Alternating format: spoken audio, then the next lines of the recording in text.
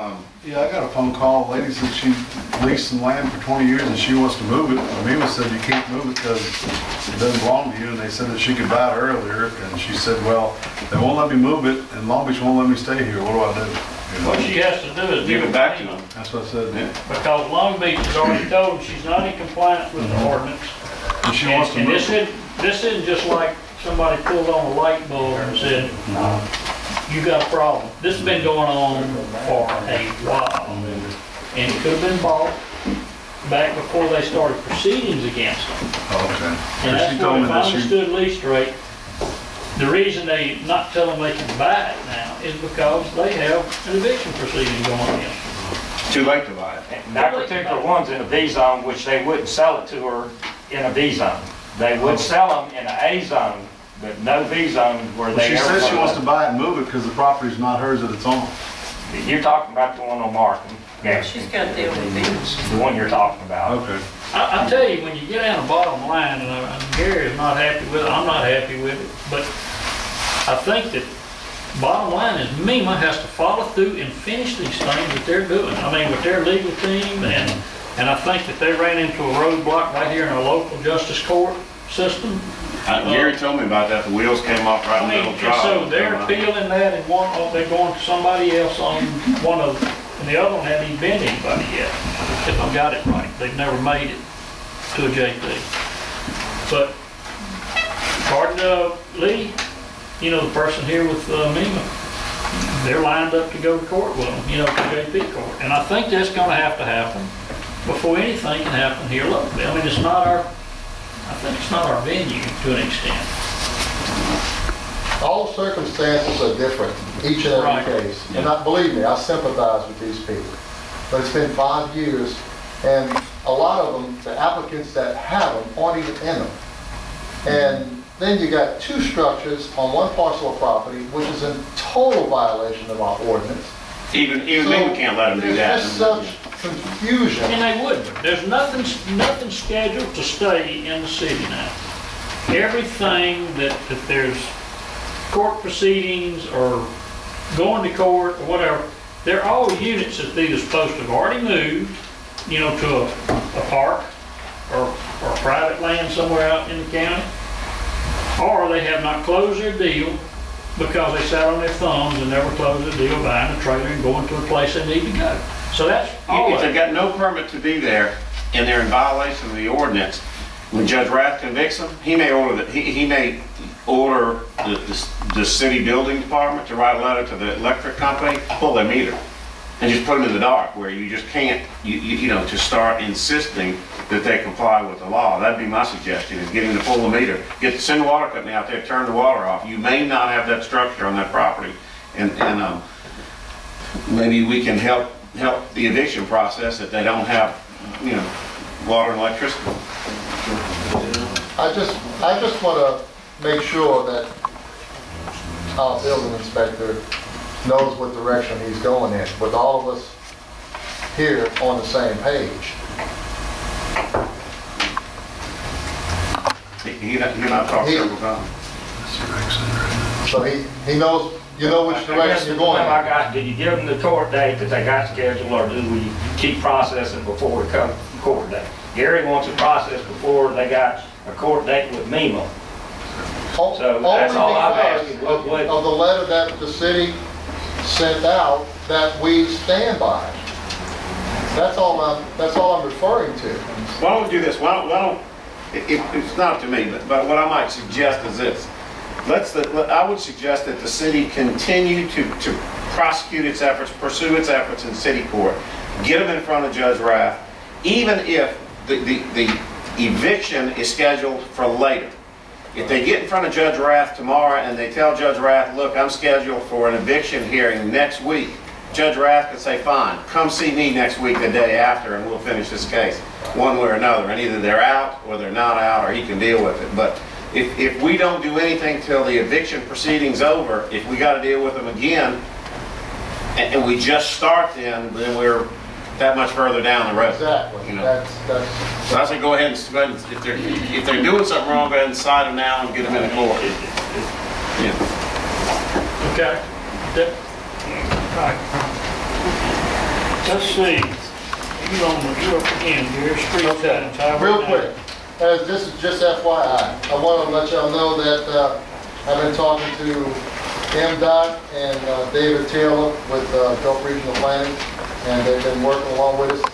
Uh, What they seem to come down to is, instead of putting signs on all the streets, that they just uh, given us advice to go ahead and do the major thoroughfares, which would be Richards, Nicholson, Girard, Troutman, South Island View, Lang, and White Harbor. Instead of each individual street, we'll just go with the major streets that go all the way over the tracks. Avenue, crossing. That's correct. Right. So What that's streets basically, I'm, It's the larger street, the big, Okay. like it- it- it's Steve. just, it's just the larger signs, mainly because of the, uh, there's no object markers out there. One no- for Gulf View. I mean, you you pass up the street, you don't even know where you're going on the side. house from the street. John, So that, that's all I want to do, is just play out up to date on that. I'm still working. on it. lights flashing. Yeah. Good. Neon. Neon. All right, Gary, that, That's it. that brings us up to That's date, it. all right? New business. Jack and Diana Donovan, Smart Code Map. You Y'all have got a letter? letter from, um, uh, Beach and somebody, Dooch, Dooch. uh, Butch Kerrigan and did you get a copy of that, Jim? I think it was one of my packets, but since the snake had me hemmed up on it. It dropped off later than when you I went in my house tonight before we came here, Yeah, and, and, uh, and I put my packet down in my garage, and when I came out, there was a snake there, and it had to be hemmed up, and I couldn't get at my packet, so He was scared. I came it That's a good one. I It's true, I got a picture of it. What kind of snake was it? It was a, it was a copper-headed water rattler, it was about, about eight feet long, like a copper-headed water rattler. A rabbit. human snake, it was about eight feet, something like that. Like a fisherman, huh? I don't know what it was. It, it, my, it had a, my cat had a, they had a standoff, and I just figured I'd let them work with each other. I'll let without the other door. Is Mr. Goff not here, the attorney? Well, Uh, I don't see anybody here, really, I mean, I'm not sure. I think this is just so, Just FYI, don't know. Well, I think, I I mean, I'd like to read it and probably have some questions, and can we put it on the agenda for next meeting? Sure can. I'd like to do a little research and- and understand what you're saying. I don't understand what they're saying either, because we hadn't passed, we hadn't had any public hearing on this yet. well, I, I know that it seems like the, one of the properties that they're in question about right here, this area on the map that's in the office is zoned differently than the zone on this one. Well, the area that's in the building office is on just exactly. I Let me looked, I looked is at this area right here between Todd Terrace and all the way back, it's changed. map. The one in the office, one in the office is like that. The one on the wall where I get my packet. Oh, no, I'm talking about the one they worked on, they've, had- they, that's a way back. Two That's a- years old. That's a, probably an '08. So where did this copy come from? This is oh, October 15th of 08. That's what I'm talking about. They, there have been map changes, there's been other studies, they had that, uh, US, in- that study, the the economic Oh, yeah, that- yeah. feasibility, and it showed Klondike as a thoroughfare. We've had the, the, uh, the fringe study Yeah, showed he- Klondike as a, as a thoroughfare. I mean, Yeah, he also said that we had like a million square feet of commercial area that we probably won't get filled. And I, I think maybe we ought to fill what we got before we start making more of it. well, I, Well, I agree, think let's if- move it on. Let's go ahead and put it on the agenda. Yeah, for okay. next Give y'all time to review and Uh, ask Well, there ain't questions. been a hearing on this yet. I don't know what we reviewing. I, I, I don't think, I think they're I, I trying to think dip he it in doesn't the- realize what's Well, they're going not gonna be able to nip it in the bud till there's a hearing. Yeah.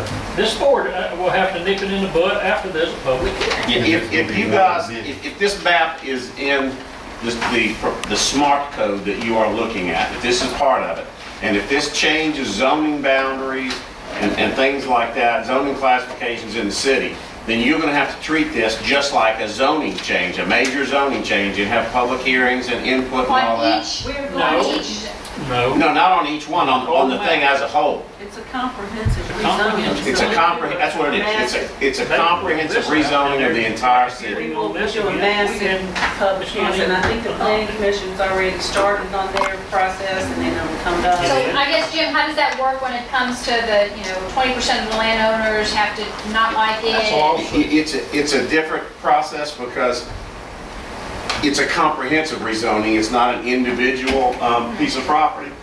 So you have the hearing and every, you- you publish notice to everybody in the city. Everybody's got a chance to come in and look at it and, and, and make their complaints and, and object to individual parcels. Um, We did it, last time I was city attorney, we did it years ago. We ended up in a lawsuit, remember, over one piece, which we won, but I mean, um, I, I- I've just read this, but I just think he's jumping the gun. David may think we've already changed the zoning map and haven't gone through the hearing I, process. I talked to Ms. Donovan on the phone, and she wanted to get on the agenda, and I said, you're really way ahead of the game here, but they wanted to, to go ahead and do it. So if there's a piece of property that's being adjudicated right now because the, the, the city father saw fit to change his zone, if it's in the planning, if it's in this comprehensive zone to be changed, is there any appeal process for those people or does it just go? When, in, in this, Right, if the, if, a- if the property in question was zoned commercial, even though it was an RO, and the people around there objected to it, now it's in litigation. And we haven't heard back from that yet. Yeah, we If said in our- we're gonna wait. If if we, in our comprehensive plan, if we rezone all that commercials, do they have any recourse in that? Court, again. yes, if I understand, let's, let's say the judge rules on that case today and let's, and. and- It says it should remain R1. And, and says, yeah, and- yeah, that's right, and, and Keesler loses and Jack and Diane win. All right, if we come in a week or two later and adopt this new comprehensive rezoning smart code plan that changes it again, if they don't like it, they'll have take us back to court. Or convince you guys not to do it, one of the two. But if you guys vote to do it, then they gotta take us back to court. Okay, could you, you have to approve all of it or, or none of it when it's You, presented? you guys will, will approve a final version. I suspect you'll make lots of changes to it before it's over with. I don't know that, you may not, but I, if if history, This got nothing to do if with this history part. instructs, the last time you did a comprehensive rezoning, there were several, several meetings, and there were lots of changes in the different wards, so. yeah. I mean, you, you submit what you, you know, okay, this is, this is our, what we think is our ideal good plan. But as you listen to the different input that live in these different areas, they may sway you to think, rethink it. And, and then it all changes at that point. But if they don't sway you, you say, no, no, no, I really think this is, the zoning is proper for this area, their own, their recourse after that would be to take it to only